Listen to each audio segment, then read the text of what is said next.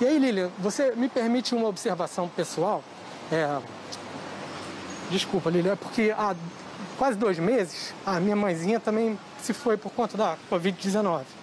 Eu, eu tô falando contigo porque você é minha amiga, tem o mesmo nome da minha mãe, Lilian, e ela ficou mais ou menos um mês, um mês internada, é, desde outubro, início de outubro.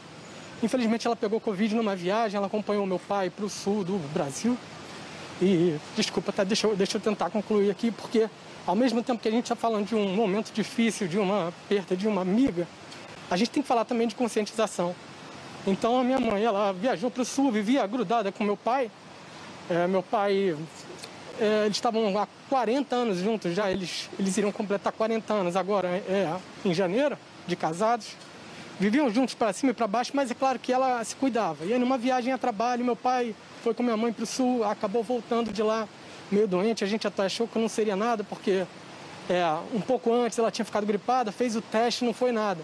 E aí, quando fez o teste novo, viu que estava com Covid, mas ela foi para o hospital e se internou num hospital particular aqui do Rio de Janeiro desde o início de outubro e ficou até o dia 3 de novembro. E aí, e aí Lilian, quando a gente tem um parente no hospital, esse momento de Covid é muito difícil, porque, claro, visitação é proibida.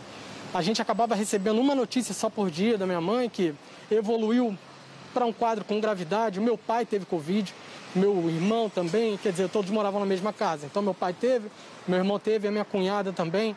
E eles três não tiveram mais do que a perda de paladar.